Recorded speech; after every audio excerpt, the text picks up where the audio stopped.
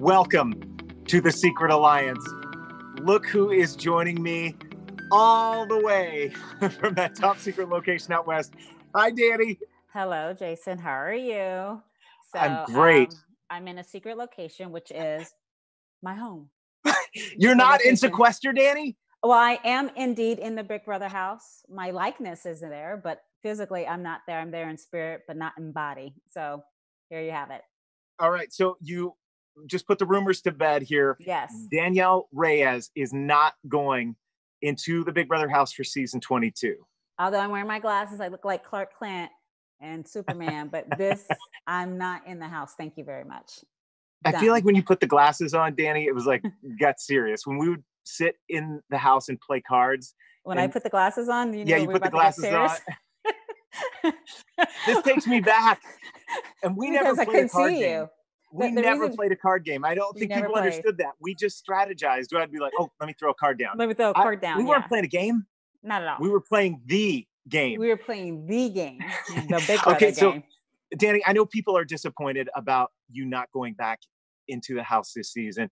Can, can you just give everybody a little bit of insight on what your mindset was? And then, hey, we're going to hang out with you all summer here on the Secret Alliance as right. we talk to everybody week by week.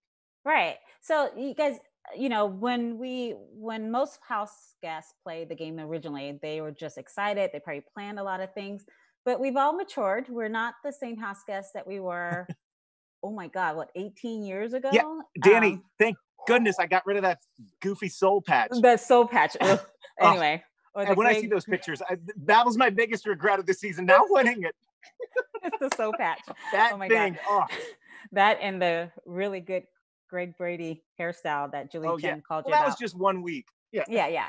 So um, I mean, so basically, um, I could not make that decision to, to basically commit for three months. It just was not yeah. possible plus the uncertainty what's happening in our nation was just it's a scary moment so yeah. right now big brother is one of the longest reality shows um, out there a lot of people don't realize that's three months of your life that you're cut off from the world and so i just at this time it was not a good place for myself to participate yeah. as much as i know you guys want it i'm so sorry but i had to think about me for once and danny I didn't even think I was going to be a question if people were going to wonder if I was going into the house this summer. I, I've been on television. I was here covering Hurricane Tropical Storm Isaias as yeah. it was moving into Florida on Sunday morning and this morning. Right. They just um, go, is there a hope? So, is yeah, there a hope? I'm, I'm, I'm, on TV here in Orlando. Yeah, I'm, I'm a news guy these days. Um, so let's talk about the All Star season because this is going to be huge. Yes, yes. And Big Brother is teasing us too much. And, I, I will say this: we didn't mean to tease you guys on social media so much. We we tried to do this over the weekend and had some technical difficulties. So then I posted another teaser video. So we had audio difficulties. That's why we put Danny over my shoulder. I don't know which side they, they put you over. Yeah, so it wasn't intentional, um, but we teased it a little more. We apologize. We don't want to do all that. Uh, but again, Danielle's not going into the Big Brother house. Not this uh, time. Uh, although let, let me just tell you, my brother was questioning today. He was like, "Are you sure that this is not one of those scams that the other contestants are doing, where they're putting the recipes out?" And I mean, everybody is paranoid, Danny. The paranoia everybody. is running rampant, and the season hasn't started. I think what's so funny is that the paranoia happens with the, the fans, right? But yeah. Just an inside thing, the paranoia happens with all the past house guests because they start texting each other and it's comical. I had to turn my uh, block a lot of people and turn my text off because I got tired of like, "Are you there?" And I'm like, "No, I'm not playing." And you're supposed to not be talking about it, even if you signed something. So it's it's funny, but but no, I'm not in. But the they're house. they're setting up alliances, and it's they're going to go in, and we're going to have some alliances. Um, but can I, that's already just, happening. Can I give a secret to anyone that wants to play yeah. the game? Yeah. Are you guys listening? This is very important. Whatever plan that you have, Throw it out. that you're gonna play the game when you finally do play. It's gonna change. They're gonna have so many twists and turns. It's no point of just go with the flow and deal with the cards that are played um, that are handed to you, basically. And that's the best advice, especially now with so many twists. I mean, Julie is gonna say, expect the unexpected. Right. And that's what this show is about. It's become filled with twists and turns, and it's how you navigate those. It doesn't matter the strategy it doesn't that you matter. came in with. Uh, right. But I will say, social game is key. That is really, really important. Um, and then it's how you strategize week to week. And Danielle, I, I gotta say, as your partner in season three, you were so good with reacting, strategizing, and figuring out what we needed to do to make sure that not just that week, both of us were protected, but the, right. the weeks to come. And that was, I thought, brilliant game and why right. I was so honored to play with you. Oh, no, same here. I mean, you were my hitman. You won the competitions. I didn't win anything. I was just. You should have used the veto. Should have used and, the veto. And let me Ugh. just say this to, to so, if Marcellus happens to see this, I do apologize. Right. I, I love this guy. I, I've seen him since then. I, I know there's it's just tough in, in the game. Only one can win, and I was trying to be that person. And so right. Marcellus, Mars, love you. So sorry. It's just game. And I hated being the executioner that night. Um, right. But it, it, was part of it. And Danielle brilliantly led you through feeling safe. So you didn't use the veto. Yeah. And you know where difficult. that led you. It's one of those ugly okay. moments that we don't like to talk about. It's like, let's not talk about that. Well, and, and I feel bad about that as, as a human being. Right. Um, and, and love everybody. So uh, I will say Amy has not believed when I've told her you're not going into the house. That's been some of the, the funniest stuff. Amy, why are you watching this? She's not going in there. Okay, um, let's talk about the people you want to see in the All Star season, Danielle, because we're not going to keep people too long on this first episode. Who would you like to see play this game again? Um, so so let's talk about that. Quite frankly, one person that I actually would like to see play again because they never they're never given the credit probably because you and I were both on that season with them. Um, and they are being, uh, you know, they were told they were writing coattails and they kind of mm-hmm. were in some, but they played the perfect game for their season, right?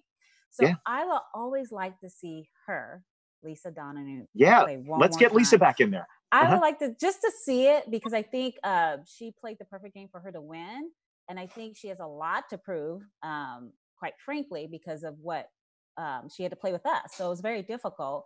And I think it's one of those things that people always hold against her. But I really would love to have see her play one more time just to see, yeah. curious to see how she would play this time around. Um, but you have the typical Janelle's in there.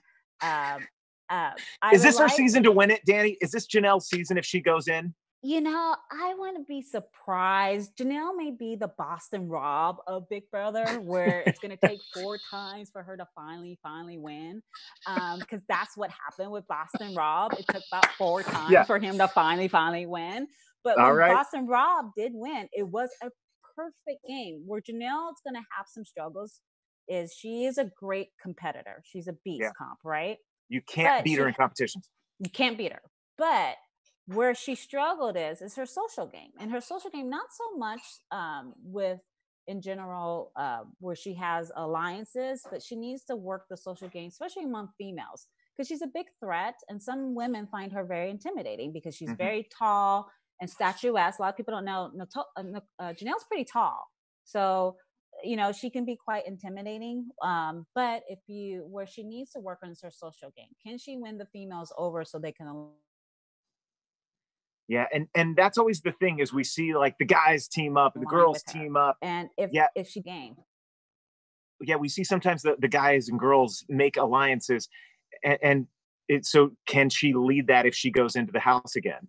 Can she be the leader? So the thing yeah. is now Janelle's a mother of three now. So it's going to be interesting. I hope, I'm praying to God that the women the women look like from what the, the rumors are the women look pretty strong this season and i think yeah. especially the mothers if you have a Danielle Donato, a Janelle, even Da'Vonne, any of those house guests that are mothers, I hope they actually team up together and run the gamut. And I think women, if they just work together, I think they it could be done. But I've yeah. had people tell me they don't think women can do an all girls alliance.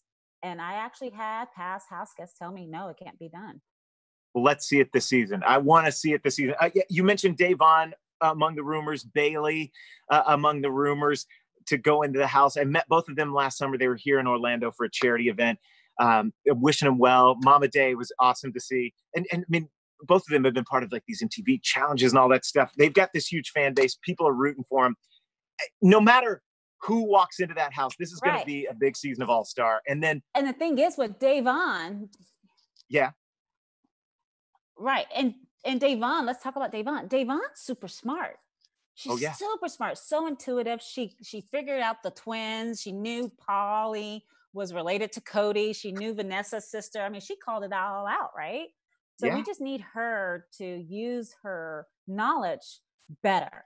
Plus, she wasn't really good in competitions, but because she was on the challenge, Da'Vonne was a comp beast on MTV Challenge. So that Da'Vonne that you guys are accustomed to watching on Big Brother, uh, she ain't the same Da'Vonne, y'all. So she will right. take people out in competition as well. Well, I'm looking for good things from Day. Um, I'll have to post some social media pictures and, and show some stuff when we met for a, a, great charity here, Give Kids the World. They help kids who are on those Make a Wish trips and they come and they spend their time in Orlando before visiting the theme parks at this uh, amazing resort. And all kinds of Big Brother house guests and other reality show mm-hmm. folks came out and they did some real good here in Central Florida. Little, little love to Give Kids the World, that charity here. Um, okay, so let's talk you in the Big Brother house because you you were sort of in the house because you're on the wall. H- how did that all come about? And how did you find out? That's a great story, Danny. on the wall. So, so what's so funny? Um, I, I get a text from um, Derek. He goes, "Hey, listen, we're we're I guess we're in the house," and I, I'm like, "What are you talking about?" So he shows me a picture of the mural of me doing the infamous devil horn. and I that got you in a lot of trouble, Danny. Getting some recognition from after X amount of years that Huh? It got you in what? trouble, Danny. What'd you say? That got you in trouble. Yeah, it did. It cost me probably a lot of votes from doing that. you know, so um, that's fine. Who cares, right? He was the devil. I don't care what you say. Say anyway. So um, they put me on the wall, and I guess it shows my countdown, which I honestly didn't think they were showing my countdown every week. I thought they were going to hold yeah. it, but it shows my uh, eight to go or something. What I used to always say weekly, um, and it wasn't for me to be arrogant. It was just for me to keep focus on the common goal was get to the end. So that's what I would do every week. Count it down. Okay. So, uh, Danny, there are some uh, things that sort of tie into what we're doing here. There are ring lights and umbrella lights and cameras on the walls in this Big Brother house. Uh, do you think they're going to allow these house guests in some way to reach out and connect with fans in a right. way we haven't seen before?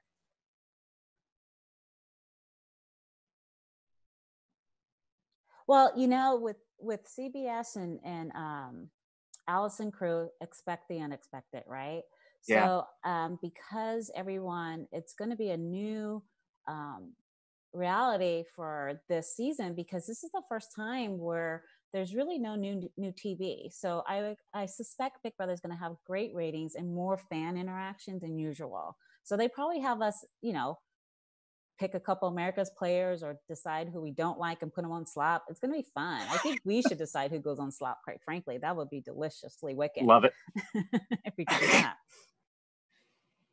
Um, uh, let's also talk about Danny um, because you you just you mentioned something that I thought was really um, an interesting point. This is going to be so strange because everywhere we go now, we're wearing masks, we're hand sanitizing, we're staying six feet apart. There are people I, I used to give a hug to. It was no big deal. And now we're not doing any of that. We're, we're sort of living this strange life. So when they walk in here, they've been what we've told been told is in sequester. They've had COVID 19 test. So they can go in and they can hug and they can cuddle up in beds together. Like they're all all good in this bubble, right? Well, yeah. Well, most of the house guests that they think are potential house guests, most of them are in committed relationships. So I hope they stay in committed relationships. Um, just saying. Um, but um, um, but when this season's going to be quite unique because I think the reason why they prolonged the announcement because they probably had to do last minute testing at the very last minute to see who's cleared to go back in the house. So I would suspect that there's probably a lot of house guests that are probably plan Bs, waiting to see if they're going to be the alternate, basically. But to see them to canoodle, to hug, um, where it's going to be quite interesting because even I don't know about you, but when I watch commercials and they're hugging, I'm like, oh, you know, yeah. you get that anxiety, you know, like oh my god, they're touching. Yeah, it gives you it gives you almost anxiety, but they can yeah. live the way we did before this whole pandemic, being inside right. that bubble. It's going to be fun to watch. Okay, Danny, we got to get to some questions before we wrap this up. All right. Uh, who is your favorite winner? We had that question asked to us from Theater Book Kid on Instagram. My favorite. Who's your favorite winner? All-time winner? Yeah. It's Ian.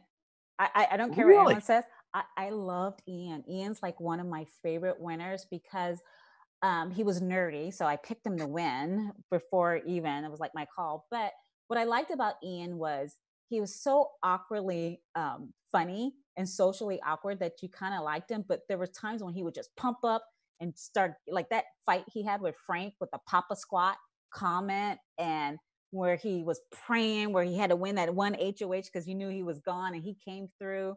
And what I loved about Ian was he was so, even though you think he's a pushover, he really wasn't.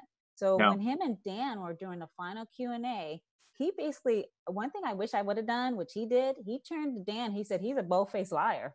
I didn't do any of that. He's a big yeah. liar. And I love that about him. And I think a lot of people always say Dan was robbed, but Ian paid that perfect game because he didn't piss enough people off to win that. So I like Ian. Ian's my favorite. I don't care what anyone says. I'll fight you. I I like Derrick. I thought he did such a good job. He is through the whole game playing it. He right. never he never really let on what he was doing. He did a good job of getting other people to do his dirty work and make it think like that was their idea. It was the, it was great to and watch. And the other thing about Derrick, a lot of people don't realize that you and I, Jason, hold the record to make it to the finals three without yeah. ever being nominated. He's the never. only never being but Derrick's so unique. Derrick made it and won, never got nominated. However, there was four times for him to get nominated. Remember that season? Yeah. Remember they yeah. had the the block or whatever they call it, the stupid block party, and you got like three or four times. You're like, I'm saved. You're like, no, we got no. more nominations. So he made it all the way without ever getting nominated and taking home the prize. That's pretty. That's pretty impressive. I don't care. It really is. Okay. So, Danny, fans are going to be asking us questions through the season. We're going to try to get to as much of that. That's what we're going to spend some time doing the next time we get together last thing, and we're not even going to say why, but I just want to name here, Danny. Katie A. Kirk on TikTok wants to know who you think is the best Big Brother player to never win. I'm going first. I think it's you, Danny. Oh, thanks. Stop. Um, and you can't say me because that's not true. that's not true. Because the Maury Povich lie detector would tell us that is a lie. Uh, that is a lie. Well, Jason, I always felt that if you made it to the final, you were going to win, and you played yeah. the perfect game socially, competitively. But I lost the competition, final three, and then I'm out. So eh, yeah, social social doesn't matter if you're not winning the final competition. So the best player to never ever win will have to be, I don't know, I don't know. I have to get back to you on that. Okay. Well, th- hey, that's what we'll answer next week. that's what you call a teaser.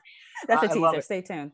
Uh, okay, so we're gonna take a look at all the players once we find out who is in this season after Wednesday night's episode. Don't miss it. And Big I will Brother, give you my I will give you my prediction. I will put in an envelope and we'll close it. How about that, Jason? Oh, I like that. Mm-hmm. And and I I'll let you know, and you can let me know, or or we'll give somebody just so that we can't change it throughout the season. But we'll yeah. we'll let uh let my brother know who we've picked yeah. as the winner of the season. We'll see when that gets blown out. I'm I'm terrible at predicting this stuff. Danielle, before we go, the last thing here, and we're gonna run out of time. Here. The the question I always get asked is, did you believe Danielle was true to the end? Would she have remained true if if we made it all the way final two, or if you won that third competition, uh, final round. And and I said, absolutely. It was never, never ever a question in my mind. Yeah. No care. doubt. I did not. We care. were ride or die. Ride or die. I didn't care. If, it was just, it was, you had, it's just, we had to make it to the final two. And I just felt like I was there to make sure you get there and you were there to make sure I got there. And it was so yeah. disappointing that we didn't do it, but it, there was no doubt. I didn't care. Yeah. We're we going, were in it. next to me. And I wanted yeah, to say, wa- we got y'all. I, I would have talked so much Mac. I'm so glad okay, it didn't so, happen. question: We're not in the Big Brother house, obviously. Right, I wasn't right. a question. You were. Right. Um, would you go back and host a comp? Yes or no? Oh yeah, absolutely. All right. Absolutely. Okay, so maybe maybe they'll ask us. They've never asked me. They can't. Never been asked. We're in we're coronavirus. They got they got the, they got the coronavirus. You don't uh, want that yeah, crap. They can't have us come back. You're right. You're right. We it's can out. zoom it. Okay. All right. we'll zoom it. All right. I, I love it. Danny, we've now brought everybody else into the Secret Alliance. We're going to do this week after week. This was a blast. Bye, my friend. Love you, Bye. Danny. Thanks for joining us, guys. Bye. Bye.